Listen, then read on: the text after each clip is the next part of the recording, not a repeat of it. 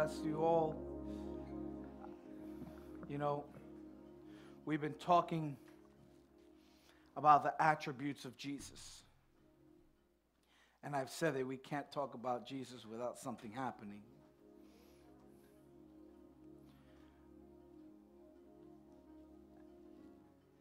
And this is already, this is going to be our third week. And we started off the attributes of Jesus with the Good Shepherd, hearing the call of the Good Shepherd, hearing his voice.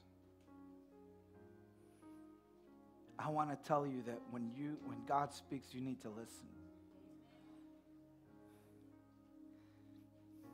I don't know how many of you, God spoke to a lot of people that night, I mean, that day.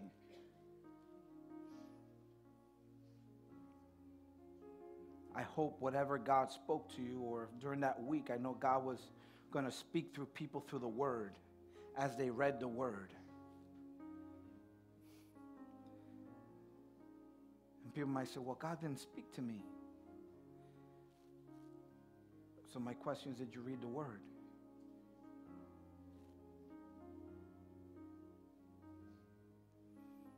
And I'm not talking about opening up saying, oh, and Jesus cried and closing the book. Read the word.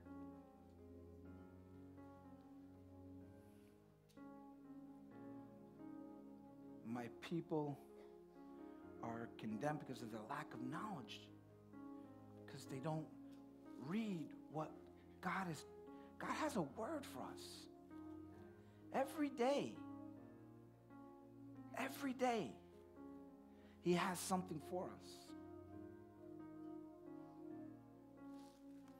The second week, yes, last week we spoke about God's gift, and that was Jesus, our Savior. Today, we're going to be talking about believe. That's the title, believe. And what we're to believe in is what God can do with you and through you.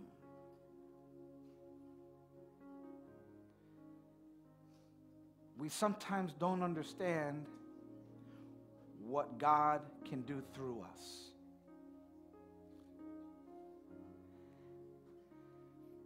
And it has to do with miracles and healings.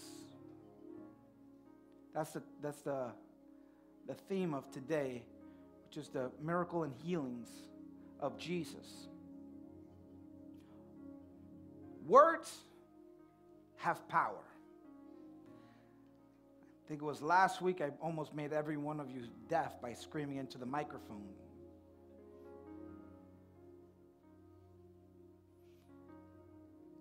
But words create an emotion. When we, like we said, when you scream, it's all your whole body. So, you know, when we pray, I'm not someone who kind of, you probably know because when I pray, I'm kind of loud. That's why I like and, no offense, I, I like praying alone because I, I know that I bother people when I pray. Um, but I, when I pray in group, I try to tone it down. But it's hard because I like praying. I like screaming at God. Not screaming at God. Let's make that clear. Screaming to God. And why do I not, and when I say scream, I mean just pouring everything out. Pouring everything out. And when you pour everything out, you can't do that quietly. You can't. You can't. It's, it's something that you just want to just, when you go to a game, right? And let's say someone, you, you want to, you want, people are screaming from the stands. You know, you go to even these Christian concerts and stuff like Hillsong, people, ah! Right? It's like, this is a man. And we go crazy over a man. But yet, when we're in the presence of God, we're, you know, you know, when we, when we talk with God, and this is where I'm going to get to words, when we speak words, they have an effect. Words, the Bible says it's like a, our, our tongue is like a two edged sword because it can hurt someone and help someone. How many have ever been hurt by someone speak just by a word from somebody?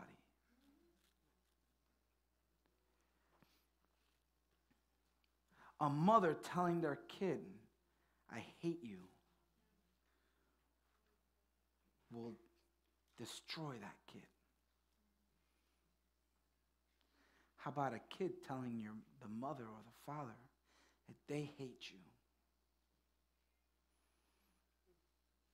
Break your heart. It's just a word. But where is the word coming from?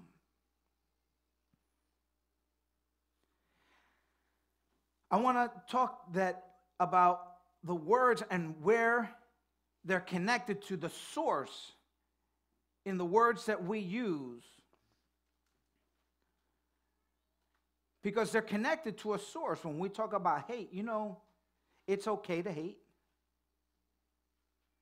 The Bible says it's okay to hate. We're going to get into that a little bit. But I want to start with uh, in 1 John chapter 2 verse 9.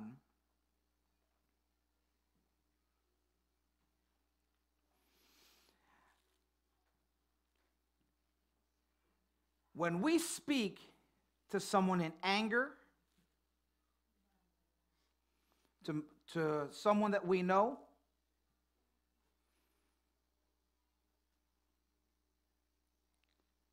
we have to see where the root is. Is it root? Is the root in something evil? When we speak to someone in anger? Where is it coming from? In 1 John chapter 2 verse 9 says anyone who claims to be in the light but hates his brother or sister is still in the darkness. Well, there it says that what? Hate is what? It's part of darkness, right? Anyone who claims to be in the light but hates his brother or sister is still in the darkness. How many have ever said they hate somebody? Yeah, lying. I know, I've, I've said it. At some point or another, I can't be the only one that at some point in your life you've said you've hated somebody.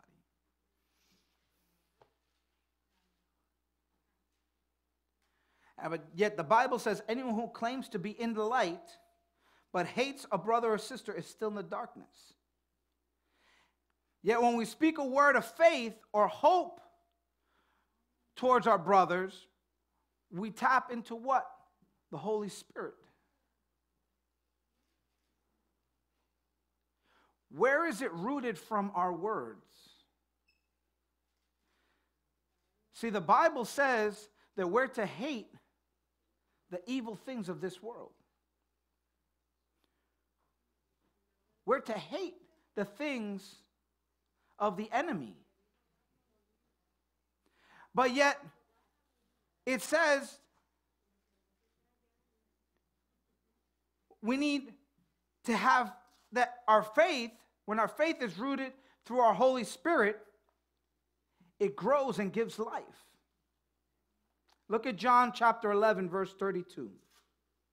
And we're going to see a couple different stories here on how the word and where it's rooted from and where it comes from, what type of effect it has. And this is the story of Lazarus, and maybe most of you probably already know this story. Okay? It says in verse 30, starting verse 30, when Mary reached the place where Jesus was and saw him, she fell at his feet and said, Lord, if you had been here, my brother would not have died. Mary's brother Lazarus, who Jesus loved, it says that he that Lazarus died. Jesus knew about it, but yet he stayed where he was. And by the time he went to go see him, Lazarus had already died. And Mary tells him, If you would have been here, my brother would not have died. Verse 33 says, When Jesus saw her weeping, and the, and the Jews who had come along with her also weeping, he was deeply moved in the spirit and troubled. Where have you laid him? He asked. Come and see, the Lord replied. Jesus wept. That was that verse I was telling you. It's the shortest verse in the Bible. So if that's all you read this week, then Jesus said, See how he loved him.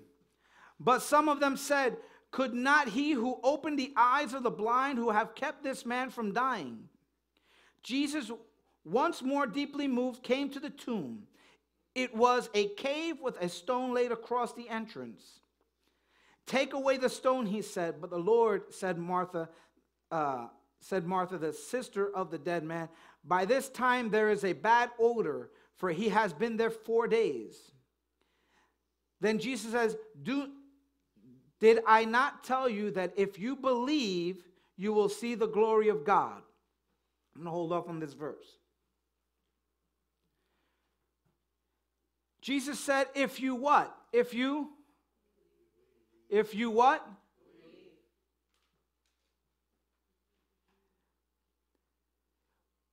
there's a secret in our walk with Christ, which is faith. And I say a secret because many people have heard the word but don't practice it.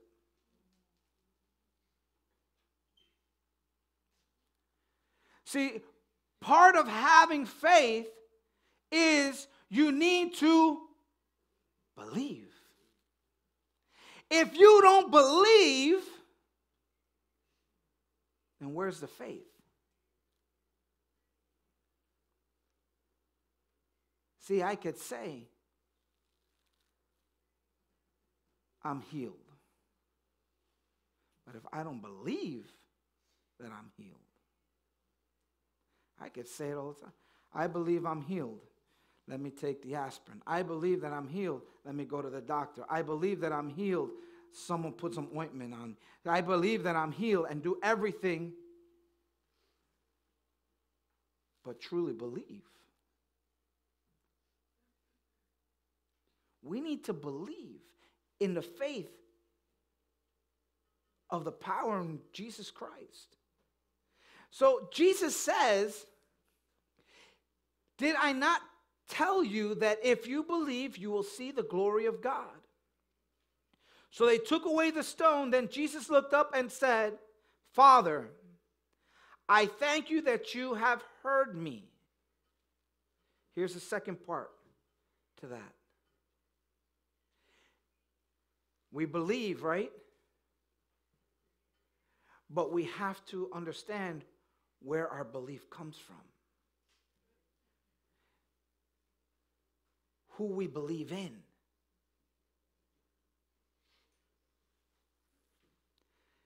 Okay, I'll make it real simple. Give this example. Um, if I tell you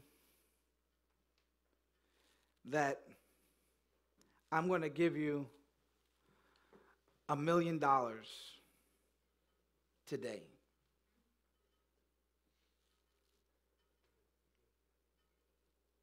Oh, let's say 10 million. Make it 10 million. I like 10 million. Say 10 million. I'm going to give you 10 million dollars cash today. How many would really try to believe that I would give you 10 million dollars in cash today? My wife is like smirking over there. She's like, right? 10 million dollars. If Bill Gates was up here and said he was going to give you $10 million today, how many would believe Bill Gates? Right? Why? Because you know he has it. You know he has the ability to do it. So it's easy to believe him. See, some of us treat God like y'all treating me.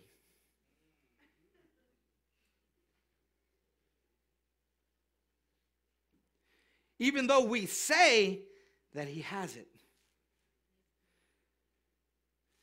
God, you got all the power, all the strength. You can heal, you can do anything. But let me go this route just in case.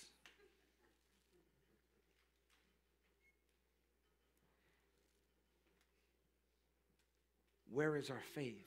Where is what we believe in? Where is what we believe in? In verse 42, it says, I know that you always hear me. This is Jesus talking with God. I know that you always hear me, but I said this for the benefit of the people standing here, that they may what? That you sent me. See, Jesus could have easily went and said, which he says later on, Lazarus, come out. But Jesus found a teaching moment. A teaching moment not only for the people there, but for us. So that we can understand if you want to see miracles, if you want to see a change, you have to what? You have to You have to believe.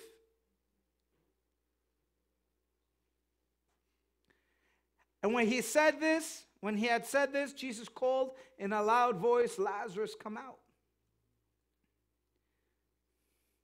See, our word in faith have power to give life and perform miracles when it comes from the right source.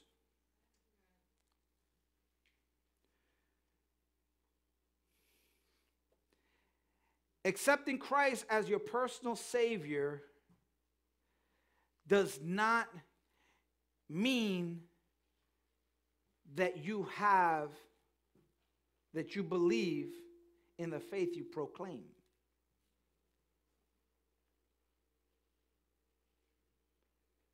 See, that comes from, and we, you'll hear me say it a billion times, that comes from relationship.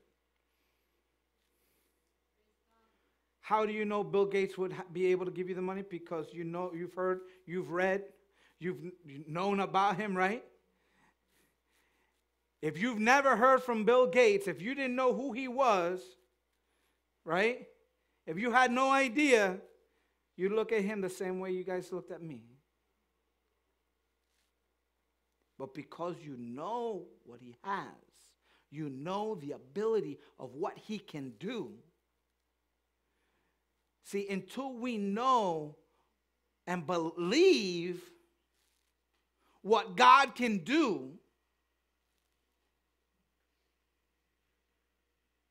that's what increases our faith.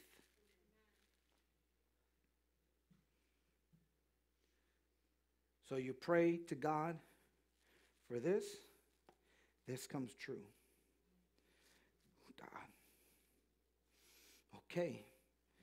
God says, believe in this. And it comes true. And I believe in this, that God can give me this. And it comes true. And your faith starts to increase because you trusted him, you believed in him that he can do this. Before you know it, you're believing that he can do anything which he can. But the belief and the faith cannot be watered down.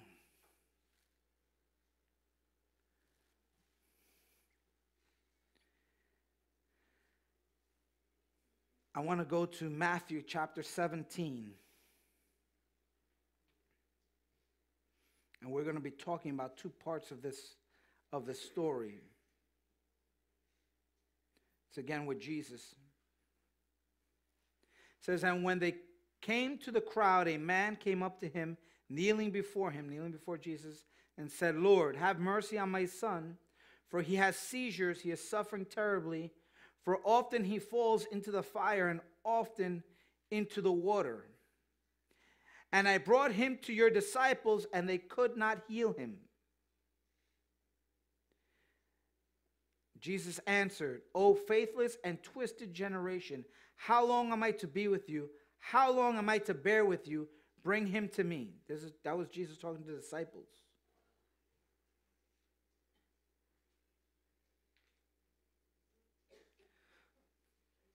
So, how many personally here walked with Jesus?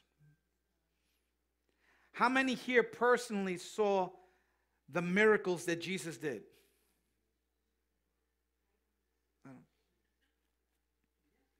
And it says that Jesus, that the disciples here, this man went to the disciples.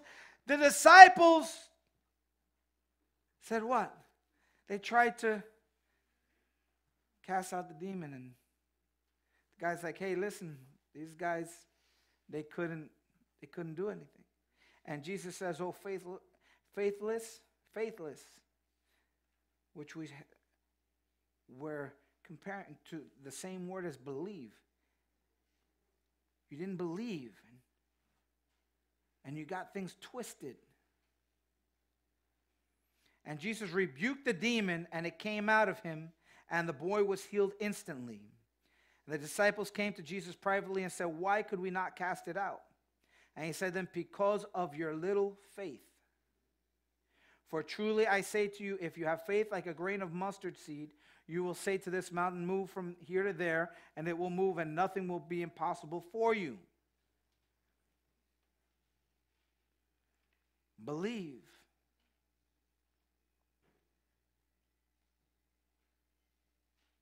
God's not telling you, you we need to start somewhere. God said all you need is the size of a grain of must of a mustard seed. I don't know if you've ever seen the grain of a, uh, the seed of a mustard the a mustard seed, if you've ever seen one. If I were to hold it on my finger, you guys would not be able to see it.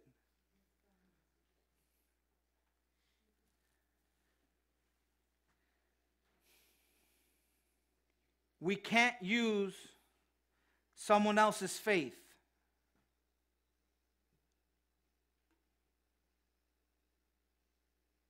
We can't use someone else's faith. In other words, we can't say, wow, Pastor Victor prayed over a guy and he was healed from cancer. So I'm going to go and I'm going to go to the cancer ward in the hospital and just mimic whatever he did. Because that's the relationship and the belief that, that the bishop has with God. Where's your belief? Where's your faith? We have to believe. In Acts 19, and I know I'm going through a lot of stories, but I want you to truly understand here. It says in verse Acts 19, verse 13, it says, Some Jews who went around driving out evil spirits tried to invoke the name of the Lord Jesus over those who were demon possessed. They would say, In the name of the Jesus whom Paul preaches, I command you to come out. It says, Seven sons of Sceva, a Jewish chief priest, were doing this. One day the evil spirit answered them Jesus, I know. Paul, I know. Who are you?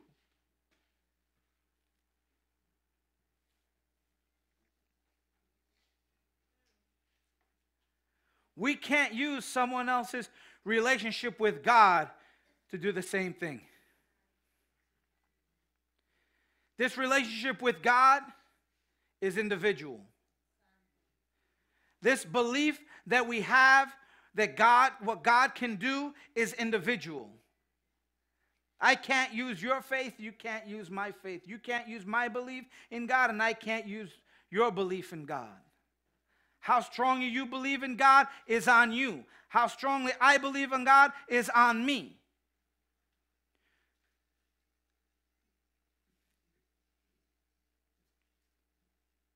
Imagine these guys were going around trying to cast out demons.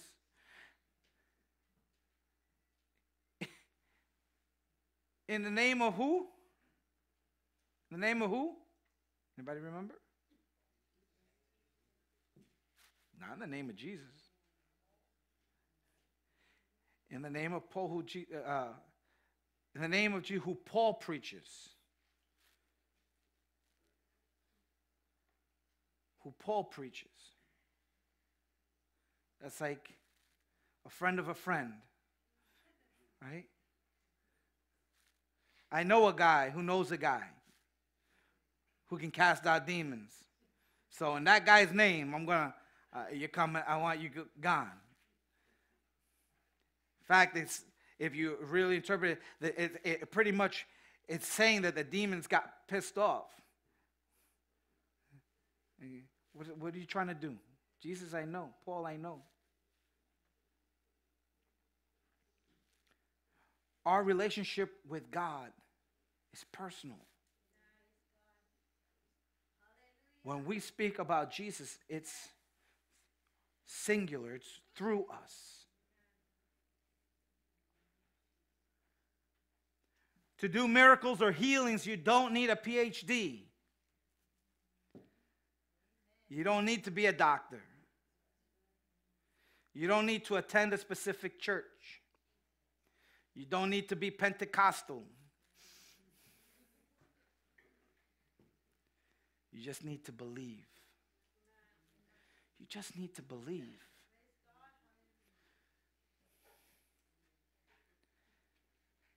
In Luke 9 49, it says, Master, said John, we saw someone driving out demons in your name, and we tried to stop him because he is not one of us.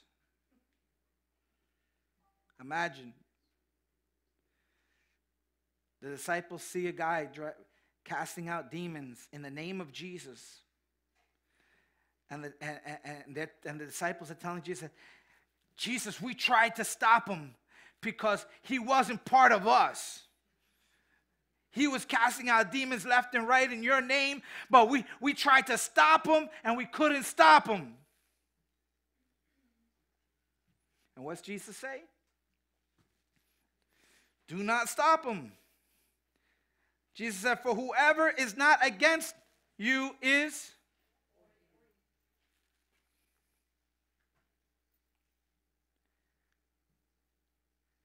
This is a relationship, a personal relationship between you and Jesus.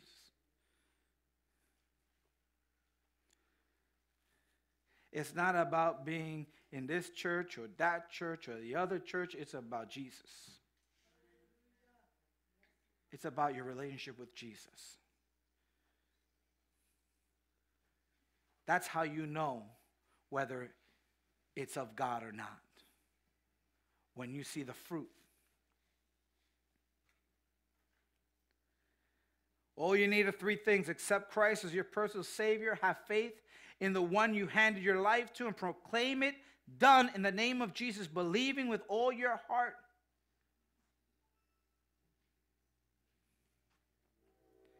Now, like everything, I like to give disclaimers. There's a disclaimer. There are miracles that require a bit more dedication and are strong and a stronger relationship with the Father.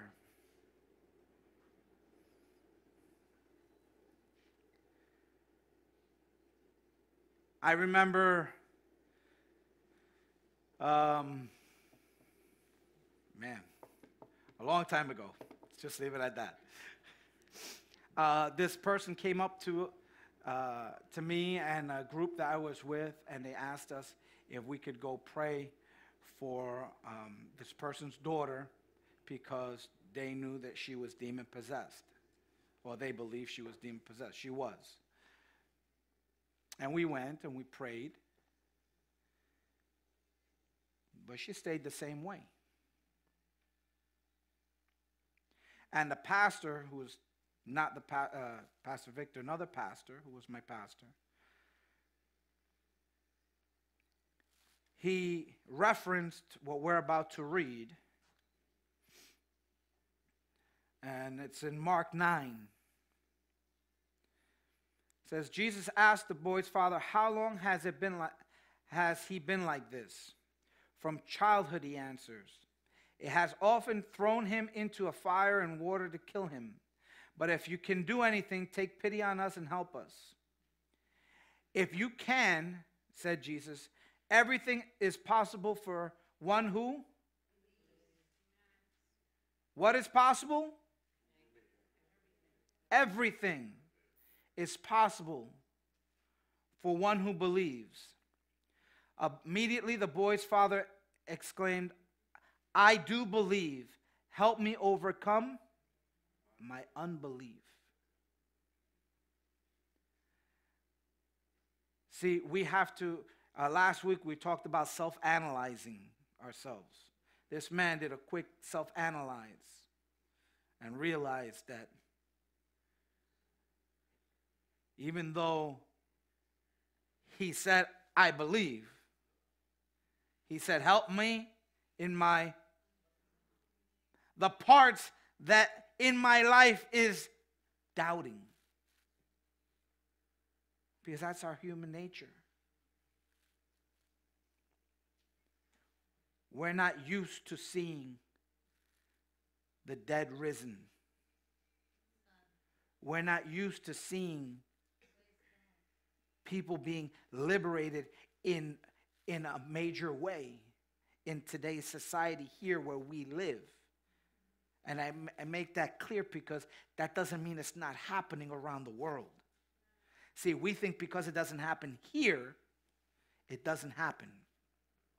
We think because God's not doing something here, that God doesn't do it. There are places where the miracles are left and right.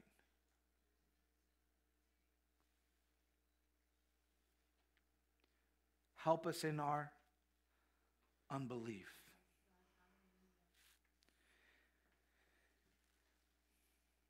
Verse 25, it says, When Jesus saw that a crowd was running to the scene, he rebuked the impure spirits. The impure spirit. You deaf and mute spirit, he said, I command you, come out of him and never enter him again. The spirit shrieked, convulsed him violently, and came out. The boy looked so much like a corpse that many said, He's dead. But Jesus took him by the hand and lifted him to his feet and stood up. And after Jesus had gone indoors, his disciples asked him privately, Why couldn't we drive him out? And he replied, This, this kind come out only by prayer and there's in some versions it will say fasting. And not all versions they have it, but in some versions you'll see where it says prayer and fasting. Now I want you to understand something that that doesn't mean that to cast out that demon you need to go pray and fast to cast out the demon or to cast out or to have that miracle happen. That's not what that verse is saying. That means you need to have a life of prayer and fasting. When you live a life of prayer and fasting, then when you encounter those type of spirits, no problem. Jesus didn't go into a prayer and fast to cast out that demon, but Jesus lived a life of prayer and fasting. And he recognized. See, that's why I said it's a disclaimer because you have to understand you have your belief and your relationship with God. But you want to move those mountains that we read that verse before? You want, you want to really truly see those things? You got to have a life of prayer and fasting.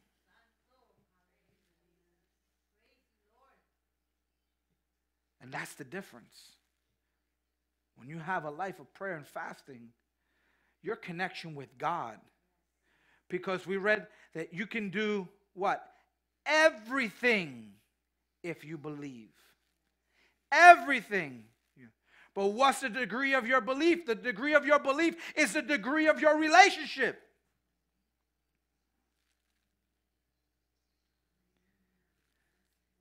There's a difference between having Bill Gates stand up here and say, I'm going to give you the money, and you having his credit card.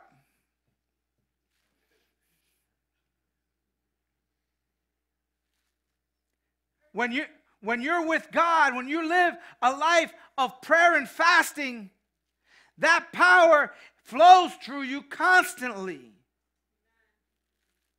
It's not a matter. See, we we we live our lives and then we come to a situation and then we connect with God. We get to that situation and then we say, Hey, God, I need your help. Can you send some power down? Because I need this situation to be fixed. And we're looking for God to do a miracle at this moment. But when you live a life of prayer and fasting,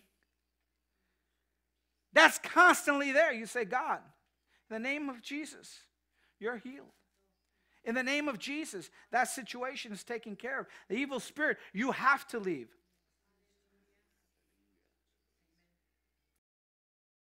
With Paul, it says that they had a handkerchief that the, was just the it, it says the anointing that Paul had.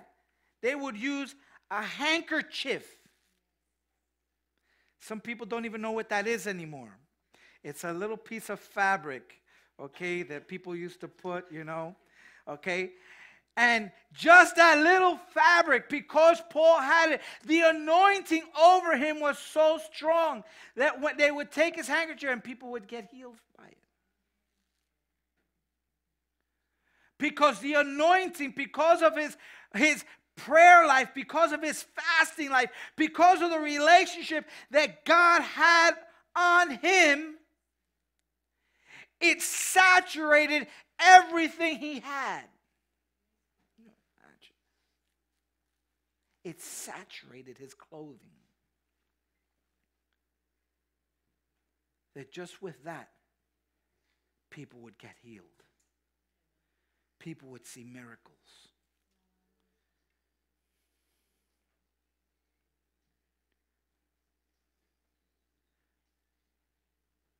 I pray that we get back to that belief. That we get back to that belief. That that anointing, that type of anointing will flow again in this area. Because it's flowing in other areas. You know what that's called? Revival. That's called revival. We need a revival.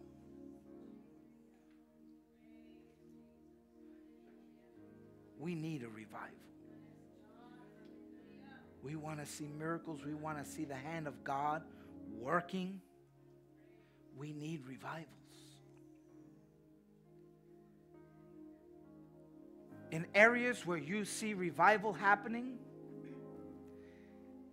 it's not in the walls of the church, it saturates the town. In areas where there's revival, you will see. In Toronto, Florida, great, great example. In the high schools, they had a room, separate room in the high school, for kids who would fall under the, the baptism of the Holy Spirit, who would be so drunk in the Spirit, who, who are so overcome by the presence of God that the, the other students would carry them to this room. That the principal designed specifically for those situations. You'd go to the gas station, and in the gas station, when they would go in, they'd see people on the floor. And they'd ask a clerk, What's going on? Oh, no, that's normal. That's the presence of God that just fell upon them. Don't worry about it. How much gas do you need? When God starts to saturate through our lives, because we believe in the Word. We believe in the presence. We believe in the power. Things start to change.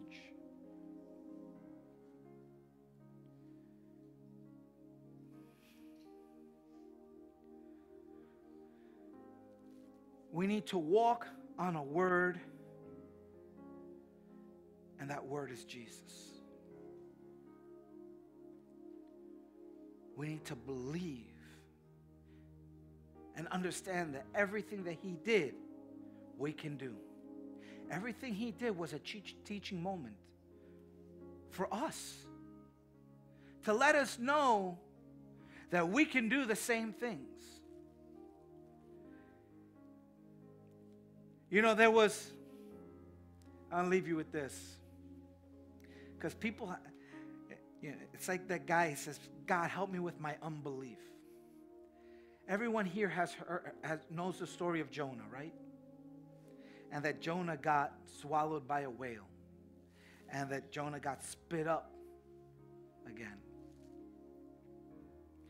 And people would say that's impossible. There's no way that that happened. Do you know on the southern part of Africa, a man last week was swallowed by a whale and taken and spit up on the shores. They have the video. You could see it. Google it later. When they told me, that's what I did.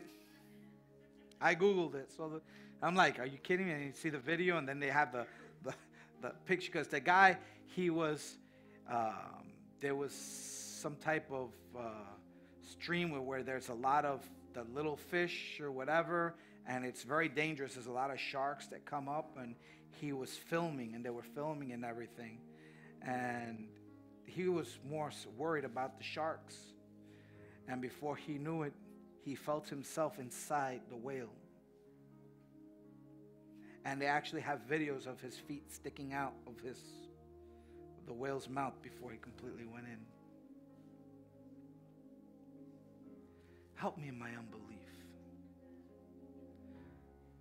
Don't tell me what God can do and what He can't do. My God can do everything. There's nothing my God can't do. Nothing. Let's believe. Let's trust in God. Whatever you're going through, maybe you know somebody who's going through something Pray over that person. Believe that God can do a change. And do the same thing that this man said. What Jesus said to the man. When you pray over somebody, in the name of Jesus, we're going to pray over the situation. But I want you to believe.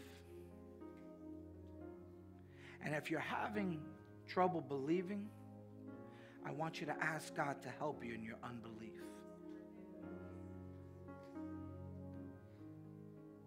Because we have to understand that there is a key factor, which is our faith. We have to believe. Let us stand.